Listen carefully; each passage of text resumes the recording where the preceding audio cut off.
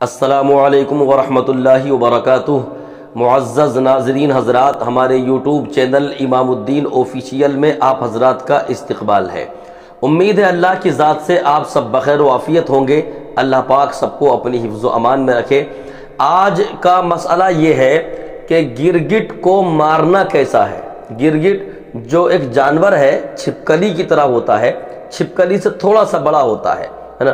اس کی دم لمبی ہوتی ہے۔ رنگ بدلتا ہے اور ہری سبزیوں میں اکثر دیکھنے کو ملتا ہے یا درختوں پر دیکھنے کو ملتا ہے۔ تو گرگٹ کو مارنا کیسا ہے؟ کچھ لوگ جہاں گرگٹ کو دیکھتے ہیں وہیں ایک دم مار دیتے ہیں ثواب کی نیت سے۔ تو کیا گرگٹ کو مارنا ثواب ہے؟ کیا شریعت اس کی اجازت دیتی ہے کہ گرگٹ کو مارا جائے؟ تو دیکھیے ہاں سرکار دو عالم صلی اللہ تعالیٰ علیہ وسلم کی حدیث پاک ہے۔ مرعت المناجی شرح مشکات المصابی، جلد نمبر پانچ، صفحہ نمبر چھ سو چھیانوے، حدیث پاک، آقا کریم صلی اللہ تعالیٰ علیہ وسلم کی صحابیہ ہیں، حضرت ام شریک۔ ام شریک فرماتی ہیں کہ نبی کائنات صلی اللہ علیہ وسلم نے گرگٹ کو مارنے کا حکم دیا ہے۔ نبی کائنات نے گرگٹ کو مارنے کا حکم دیا۔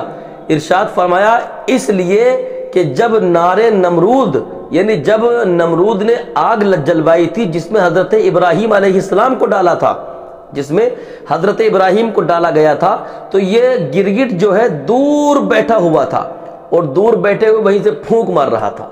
پھونک کیوں مار رہا تھا؟ اس لیے کہ آگ تیز ہو جائے۔ اگرچہ اس کی آگ اس کی پھونک سے آگ تیز نہیں ہو سکتی تھی، ہے، اس نے اپنا جو بغض تھا، وہ تو دکھایا۔ تو وہ حضرت ابراہیم علیہ السلام کے لیے جو آگ جلائی گئی تھی، جس کو اللہ نے گلزار بنا دیا تھا، اس آگ کو پھونک مار رہا تھا تاکہ آگ جو ہے اور زیادہ تیز ہو جائے۔ تو یہ اس کے اندر بغض خلیل ہے۔ یعنی وہ حضرت ابراہیم علیہ السلام سے بغض رکھتا ہے۔ تو جب حضرت ابراہیم علیہ السلام سے اس نے بغض رکھا، تو آقا کریم صلی اللہ تعالیٰ علیہ وسلم نے ارشاد فرما دیا کہ گرگٹ کو جہاں دیکھو، وہیں مار دو۔ گرگٹ کو، جہاں دیکھو وہیں مار دو۔ ایک پرندہ ہے ہد ہد۔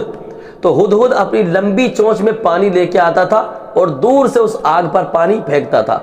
اگرچہ اس کی اس کی چونچ میں بہت تھوڑا سا پانی آتا تھا اور اس پانی کی وجہ سے اگرچہ وہ آگ نہیں بجھ سکتی تھی، لیکن اس نے اپنی محبت کا اظہار کیا ہے اور محبت کا اظہار جب اس نے کیا تو اللہ نے کیا انعام دیا کہ اس کے لیے پوری زمین کو شیشے کی طرح بنا دیا۔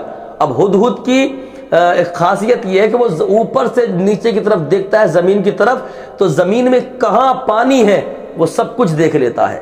حضرت سلیمان علیہ السلام کا خاص خادم بنا دیا اللہ رب العالمین نے کسے ہد ہد کو۔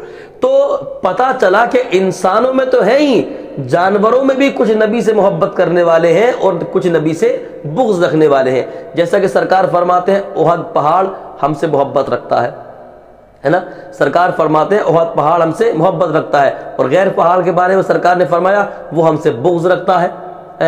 تو گرگٹ کو مارنے کا حکم جو دیا ہے، وہ رسول اللہ نے دیا ہے۔ تو جہاں بھی آپ گرگٹ کو دیکھیں، بالکل مار دیں۔ کیوں؟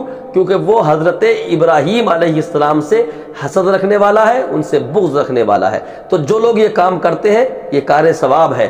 اور ثواب کی نیت سے کیجیے، انشاءاللہ آپ کو اللہ رب العالمین ثواب عطا فرمائے گا۔ اللہ پاک مجھے آپ کو سب کو عمل خیر کی توفیق عطا کرے۔ استغفر اللہ ربی من کل ذنب و اتوب الیہ۔